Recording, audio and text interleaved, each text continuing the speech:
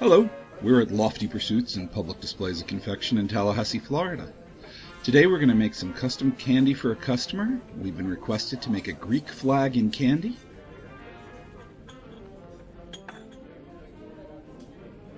The Greek flag is filled with symbols of its history. The white cross in the upper left is the Greek cross, of course, and the nine stripes represent the nine muses of ancient Greece, representing art and creativity that we hope to capture in this candy. Our hot sugar is almost 320 degrees on our candy cooling table, and Maggie stirs in the food coloring, boiling out the water to keep the candy from becoming sticky later on. This is going to be one of our hardest designs because the design goes straight to the edge of the candy. Fortunately, we've made this type of design before with the American flag that is structurally a similar design of candy.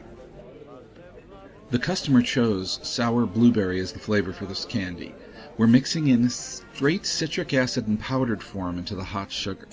This will make the candy really sour in your mouth but won't add any water to the candy that might make it sticky. If you noticed, we only added the citric acid to part of the candy. This is just the candy that's going to become white. The white will hide the citric acid. We added it to the blue, little white speckles would show up throughout the candy. Our candy cooling table has done its job and has cooled the candy down at least around the edges. We're going to cut it into two pieces, one for the white and one for the blue. Then we're going to fold it together to even out the temperatures of the two colors of candy.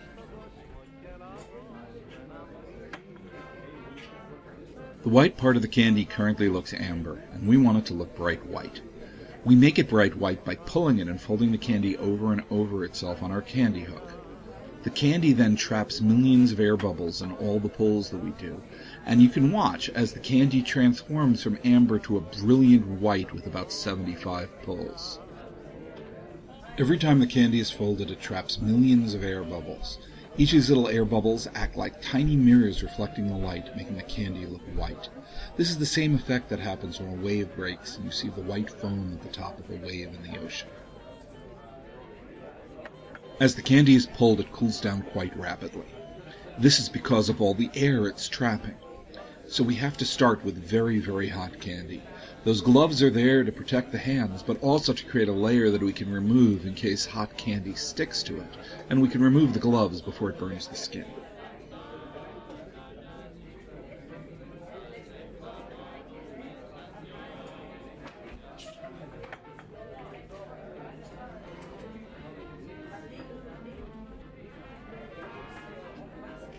As you know, we love swing music here at Lofty Pursuits. And for this video, we were able to track down a friend in Greece who was able to get us some Greek swing music for the background of this video.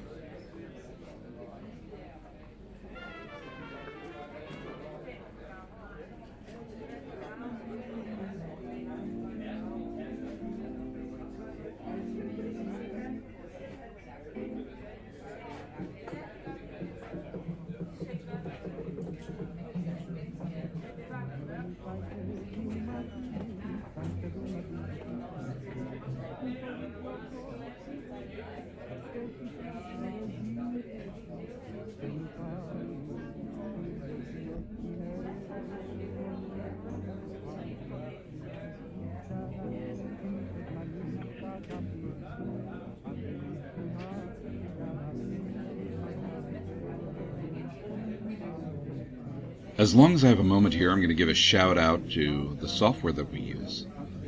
Lofty Pursuits uses entirely open source software. The video you've seen has been edited on Kdenlive. Please check it out. It's free and it's an amazing video editing package.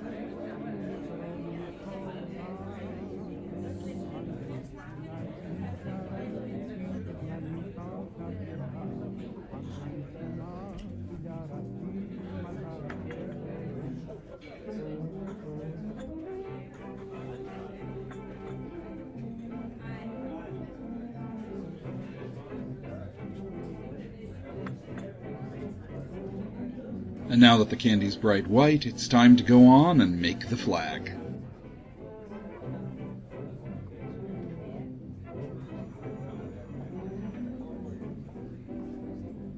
Greg has already made the cross for the top of the flag and is now going to add stripes one at a time for the top half of the flag. The flag will be assembled in two parts, top and bottom.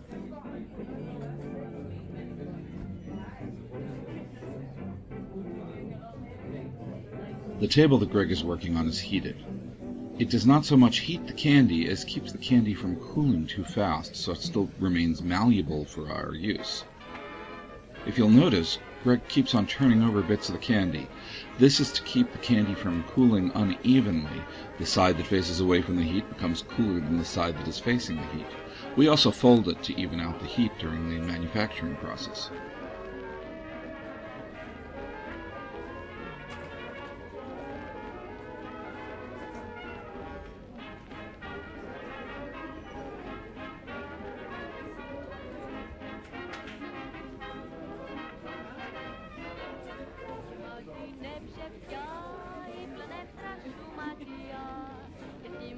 Θύμα με περνάς και γι' αυτό με τυραννάς.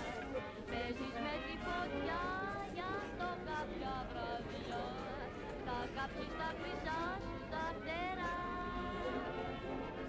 Μου γλιτώνεις που θα πας Θέλεις δεν θες, θα μ' αγαπάς. Θα ξεμπιθείς με τον καιρό τι και είσαι πονηρός. Κι εγώ που τρελάς σε ποθώ Θα σου δώσω φιλιά Solemos i ens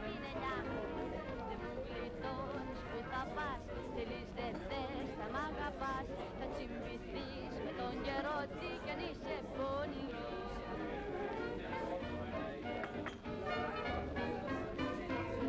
With the top half of the flag built, it's now time to work on the bottom half of the flag. We build the bottom half second because the top is very hard to control what the actual width is but it's fairly easy to build the bottom half to the width of the top half.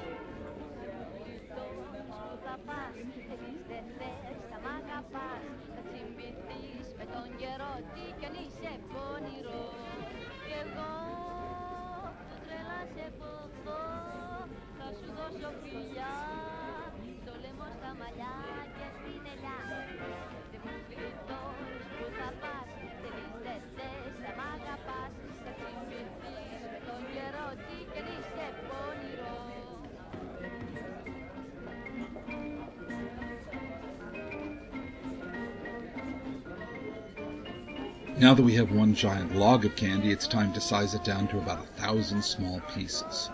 We pinch the candy and we stretch it. This technique is very similar to the glass making technique called milleflorus, which means tiny flowers. We're going to scale the candy from the giant log into small rods about three quarters of an inch in diameter.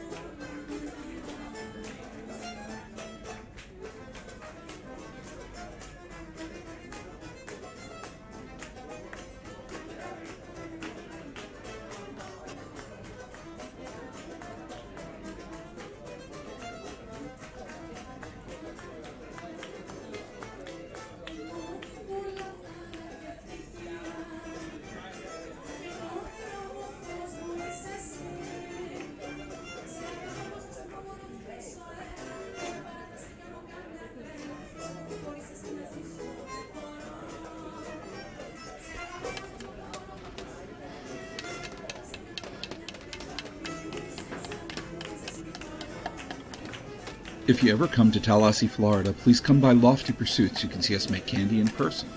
Or you can visit our website, pd.net, and of course, you can contact us if you're interested in custom candy orders.